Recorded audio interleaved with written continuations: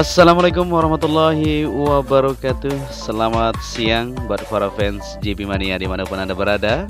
Semoga saja di kesempatan siang hari ini Kita semua masih dalam keadaan sehat dan selalu dalam lindungan Tuhan Yang Maha Esa. Amin. Ya Rabbal Alamin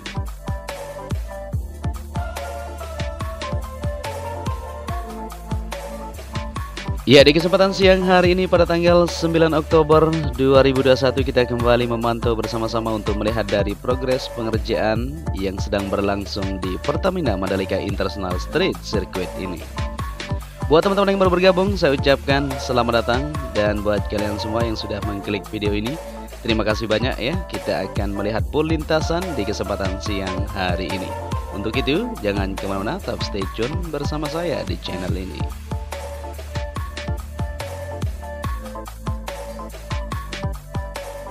Ya kita langsung saja di trek lurus yang mempunyai panjang 700 meter. Ternyata di bagian sebelah kiri untuk cupnya sudah selesai untuk pengecorannya bisa diperhatikan. Dan saat ini juga kita akan melihat untuk capaian pengerjaan di cup area yang berada di semua lini lintasan yang ada. Tapi sebelum itu kita akan perhatikan untuk hasil pengerjaan yang ada di bagian sebelah kiri Yaitu bangunan race control yang berada di sisi kiri trek lurus ini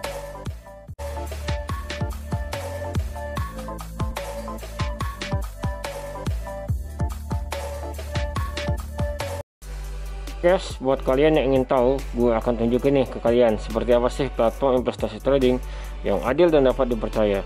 Yang pasti platform yang bisa bantu gue untuk mendapatkan income tambahan, yaitu Binomo. Binomo adalah sebuah aplikasi investasi trading yang adil. Nah, caranya itu kita harus pelajari atau analisa arah grafik dan melihat apakah grafiknya akan naik atau turun. Nah, di sini aku akan coba investasi Rp140.000. Nah, karena aku lihat grafiknya naik maka aku akan pilih naik.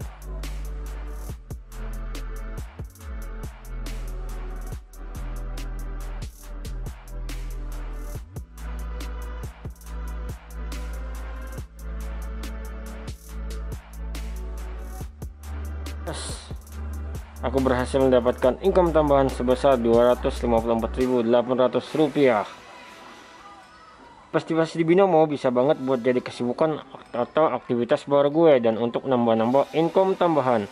Nah, hanya dengan modal 14.000 saja kamu bisa berpotensi mendapatkan income tambahan.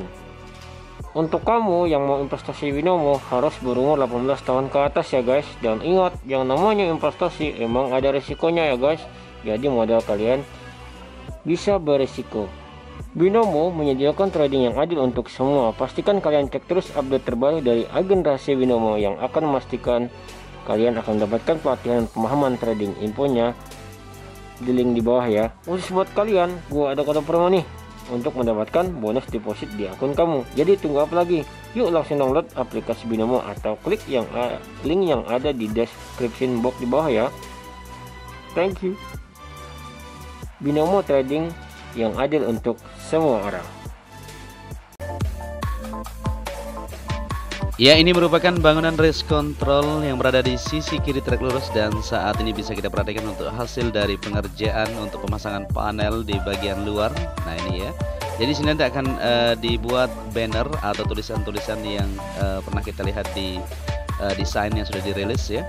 Nah ini para pekerja masih terus melakukan aktivitas mereka untuk pemasangan di bagian back railing juga atau railing istilahnya di bagian lantai atas ya. Para pekerja sudah memasang di sebelah kanan ini. Nah ini dia bisa diperhatikan kita lebih dekat sedikit. Ya seperti ini ya. Jadi ini untuk keamanan nanti para kru yang berada di atas untuk memantau jalannya balapan. Di keseluruhan atas ini akan dipasang untuk railing yang sudah disiapkan untuk keamanan nanti di bagian lantai atas yang ada di race control ini.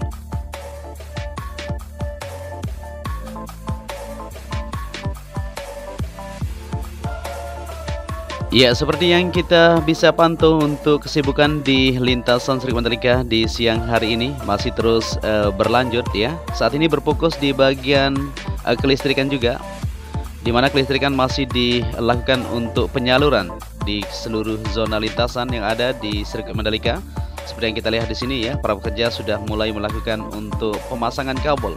Begitu juga di belakang pedok saat ini untuk jalur-jalur optik tersebut sudah mulai dikerjakan untuk uh, disambungkan. Ya di sini di belakang ini untuk kaplingan-kaplingan sisi sebelah kiri yang langsung terhubung ke bagian jalur yang berada di sini menuju ke jalur provinsi nantinya dan di belakang ini sudah dilakukan pengaspalan tadi malam juga kita bisa melihat ya untuk pengerjaan penyelesaian dari uh, pengaspalan untuk jalur logistik sudah terselesaikan. Tinggal lanjutan di bagian uh, tunnel yang berada di uh, tunnel pertama menuju ke zona dalam tersebut. Ya di sini para pekerja bisa kita perhatikan untuk pengerjaan yaitu penyaluran kabel di bagian pipa-pipa atau di bagian posisi yang sudah disiapkan. Nah ini ya para pekerja masih terus melakukan aktivitas mereka. Ini panas sekali tentunya ya dengan cuaca yang uh, bisa dikatakan 35 derajat Celcius, panas sekali. Tapi mereka terus bersemangat ya untuk melakukan aktivitas mereka menyelesaikan dari komponen-komponen uh, kelistrikan yang sedang disambung di bagian PPP itu disalurkan dan ditempatkan di posisi yang sudah disiapkan untuk kelistrikan nanti di bagian belakang pedok ini sendiri. Ya jadi di sini untuk hasil dari pengerjaan yang bisa kita lihat tinggal kita menunggu saat ini ya untuk pemasangan di bagian uh, pedok modular tentunya masih menunggu untuk kedatangannya. Nah ini para pekerja masih terus melakukan aktivitas mereka untuk persiapan nanti untuk menyalurkan bagian kabel-kabel yang sudah ditentukan yang terhubung langsung ke bagian gardu PLN yang berada di belakang sana.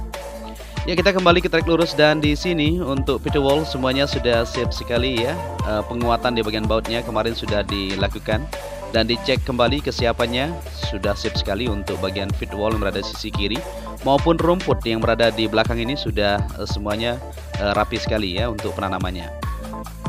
Ya kita maju kembali untuk melihat situasi yang ada di depan ini seperti yang kita lihat di sini untuk pengerjaannya sejauh ini ya sudah sip sekali.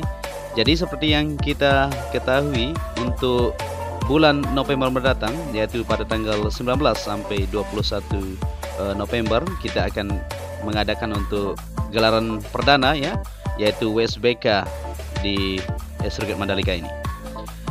Kementerian Perhubungan melakukan simulasi manajemen rekayasa lalu lintas MRL tentunya dalam menyambut event Akbar War Superbike yang akan digelar uh, di Pertamina Mandalika International Street Circuit ini pada tanggal 19 sampai 21 November mendatang. Direktur Angkutan uh, Jalan Kemenhub Soeharto mengatakan uh, salah satu yang diatur dalam rekayasa lalu lintas tersebut adalah perpindahan pengunjung dari kendaraan pribadi ke angkutan umum yang akan disediakan. Dia menyambut jumlah penonton yang akan hadir di area sirkuit adalah 25% dari total kapasitas arena atau sekitar 25.000 orang dengan uh, komposisi 2 per 3 yang berasal dari Pulau Lombok dan sepertiganya berasal dari luar Pulau Lombok seperti itu. Meskipun demikian, mengingat kapasitas jalan di wilayah Pulau Lombok yang sangat terbatas dan apabila dibebani dengan masyarakat dengan menggunakan kendaraan bermotor dalam waktu yang relatif sama maka akan menyebabkan gangguan dan hambatan lalu lintas, ujarnya.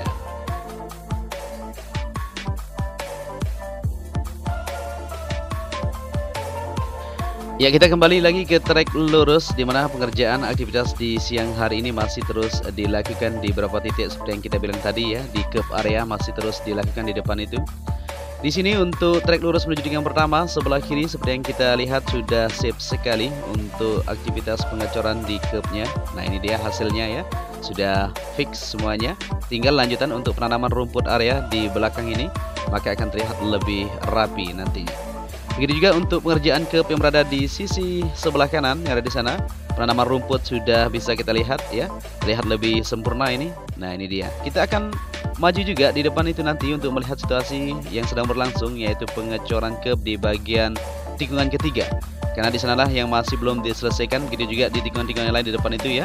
Tapi sebelum kita maju ke depan, kita perhatikan dulu untuk hasil pengerjaan di bagian pemasangan atau penempatan untuk tire barrier atau ban-ban yang disediakan di sebelah kiri atau di depan uh, concrete barrier ini. Nah ini dia ya. Jadi sudah dipasang semuanya atau sudah ditaruh di sini untuk uh, posisi masing-masing di bagian tire barrier atau ban-ban ini sendiri untuk keamanan para pembalap nantinya supaya tidak langsung berbenturan di bagian beton concrete barrier yang berada di sini. Jadi sepanjang uh, yang dibutuhkan nanti akan dipasang di semua uh, lini yang memang dianggap sangat berbahaya ya atau sangat krusial sekali ditaruh untuk ban-ban itu sendiri dan akan dicat tentunya nanti ya seperti yang uh, telah ditentukan. Ya sejauh ini bisa kita lihat ya sampai di depan sana sudah dipasang untuk ban-ban itu sendiri. Ya kita akan maju nanti ke sana untuk melihat situasi sampai batas mana untuk uh, pemasangannya atau penaruhannya. Ya sebelum kita ke sana kita perhatikan dulu untuk hasil pengerjaan di bagian tribun PPIP yang berada di Bukit Tinggal pertama. Nah ini dia ya. Jadi sudah siap semuanya untuk pengecoran di bagian atap yang berada di sini. Jadi seperti inilah modelnya sudah selesai dikerjakan untuk pengerjaan di bagian tribun VVIP, di nanti akan diperuntukkan untuk presiden dan tamu negara tentunya. Dan di belakang itu sudah mulai dilakukan yaitu pengerjaan lanjutan alat ekskavator masih terus melakukan perapian ya di bagian belakang tribun ini sendiri untuk uh, menyambung nanti dari jalur yang berada di belakang itu menuju ke bagian depan yang ada di sana. Ya jadi seperti inilah kondisi di lintasan Sri Mandalika. Terus kita akan membagikan video-video terbaru tentang progres capaian pengerjaan di mana saat ini juga lagi dilakukan yaitu pemukusan untuk uh, event uh, kelancaran per, pergelaran World Superbike nantinya seperti yang kita dengar tadi ya. Pihak Kemenhub juga masih terus melakukan rekayasa lalu lintas untuk menyiapkan dari segala sesuatu supaya event uh, bergengsi yang akan kita gelar ini yaitu World Superbike nantinya bisa berjalan sesuai dengan harapan kita bersama. Kita doakan saja, semoga saja untuk pengerjaan juga di lintasan uh, Pertamina Mandalika International Street Circuit ini semuanya berjalan uh, sesuai dengan harapan kita dan kita bisa mengadakan balapan tentunya.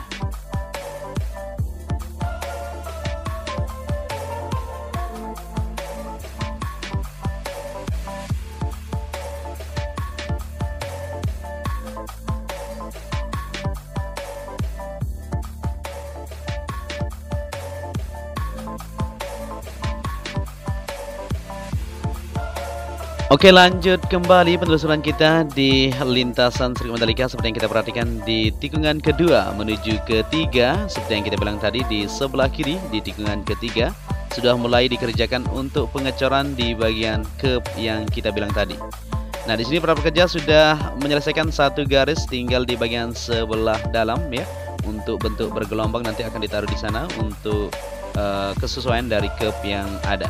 Dan pengerjaan lanjutan juga masih terus dilakukan perapian di sisi sebelah kanan yaitu di bagian long lap penalty nah, di mana di sini dirapikan dulu ya supaya mudah dihamparkan untuk material gravel itu sendiri dan ditaruh untuk lapisan dasar yaitu lapisan geotekstil tentunya. Ya di tikungan keempat menuju kelima di sini di sebelah kiri sudah rapi sekali untuk uh, penghamparan di material gravel bisa diperhatikan begitu juga untuk curb yang berada di tikungan kedua, tiga dan kelima sudah tersambung dengan sempurna. Jadi saat ini masih berfokus di bagian tikungan ketiga sebelah kiri tadi ya untuk penyelesaian di curb yang ada begitu juga di depan sana kita akan perhatikan apakah sudah tersambung untuk pengecoran curb yang berada di tikungan ke-8.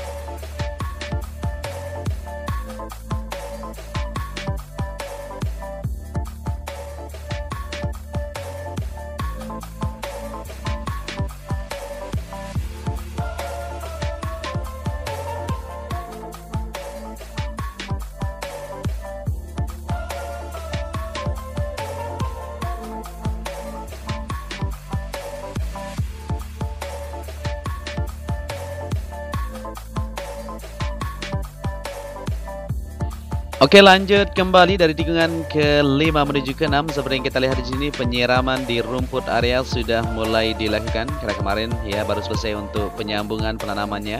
Nah di sini para pekerja masih terus melakukan untuk penyiraman supaya rumput ini terlihat lebih uh, cepat tumbuhnya ya Untuk uh, di bagian sebelah kanan yang ada di sini dari tikungan ke-7 menuju ke-8 ini dan sebelum kita maju ke depan kita perhatikan dulu untuk hasil pengerjaan di bagian tunnel kedua. Seperti tunnel pertama ya sudah bisa digunakan secara sempurna. Banyak sekali masyarakat maupun para pekerja sudah lalu lalang lewat bawah sana Untuk menuju ke zona tengah maupun menuju ke zona luar Ke pantai yang ada di depan uh, sirkuit Mandalika ini. Ya pengerjaan sejauh ini yang kita lihat di tunnel kedua sudah siap semuanya. Baik pengerjaan di bagian pemolesan Pemasangan lampu, instalasi semuanya sudah dilakukan dengan sempurna ya. Pemasangan pipa juga sudah sip semuanya. Ya kita lanjut untuk melihat situasi pengerjaan di bagian kep yang kita bilang tadi ternyata di sini sudah tersambung ya untuk pengerjaan kep yang berada di sisi sebelah kiri track lane yaitu dari tikungan ke-8 menuju ke 9. Tinggal pengerjaan lanjutan yang masih belum dikerjakan yaitu tikungan ke-13 di sebelah kiri apakah sudah dikerjakan pada hari ini? Apabila sudah dikerjakan maka artinya untuk lintas ini segera tersambung secara keseluruhan untuk kep area yang ada di keseluruhannya tentunya.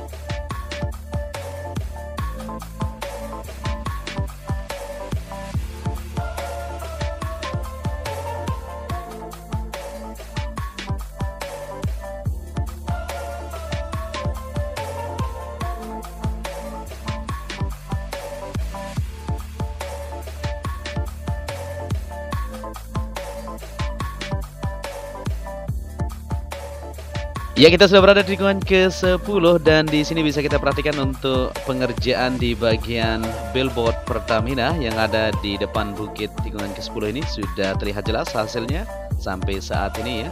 Pengerjaan masih terus berlangsung untuk uh, pemasangan tulisan di depan itu. Ya tentunya nanti akan bertulisan Pertamina di sana ya. Dan untuk logo-logonya di sini sudah mulai terpasang di sisi kiri. Jadi sudah mulai terlihat jelas untuk bentuknya. Nah, pengerjaan di sini akan terus berlangsung. Sedikit lagi akan bisa kita lihat nanti tulisan ini terlihat lebih rapi ya. Kita akan terus uh, pantau untuk melihat situasi dan kondisi yang ada. Ya lanjut kembali dari tikungan ke 10 menuju ke 11 untuk ke sudah selesai semuanya pengerjaan begitu juga rumput area rapi sekali dan tikungan ke 11 juga di bagian sebelah kanan bisa kita lihat di sini juga sudah oke okay sekali ya. Tinggal lanjutan pengerjaan di tikungan ke-12 yang kita bilang tadi di sebelah kiri apakah sudah dilakukan pengecoran pada siang hari ini? Karena kemarin sore belum sempat kita update ya untuk bersama-sama membagikan informasi buat kalian semua. Jadi kita akan lihat untuk hasil pengerjaannya. Ya. Ya kita sudah berada di tikungan ke 11 menuju ke 12 di sisi kiri. Coba kita perhatikan. Ya benar sekali ya. Di sini sudah selesai untuk pemotongan atau uh, penyesuaian atau penyelesaian dari pengerjaan yang akan ditentukan untuk kesesuaian dari kep itu sendiri. Dan sudah mulai dipersiapkan untuk kerangka di mana di belakang ini sudah dilakukan satu garis pengecoran dari belakang ini menuju ke depan itu atau dari depan ini menuju ke belakang ya kalau kita dari sana. Jadi segera akan terselesaikan kalau kita perhatikan untuk pengerjaan kep yang ada di sini. Di lingkungan ke-12 menuju ke-13 juga sudah sip sekali dan pengerjaan lanjutan juga masih eh, berlangsung di tikungan ke-13 coba kita lihat. Ya jadi di semua titik yang kita bisa perhatikan untuk kep yang kita bilang kemarin ya kita janjikan dalam minggu ini akan terselesaikan jadi bisa diperhatikan bersama-sama. Nah ini di tikungan ke-13 juga sudah mulai dilakukan untuk pemasangan di bagian kerangka gitu juga untuk persiapan pembersihan untuk pengecoran kep supaya bisa tersambung secara keseluruhan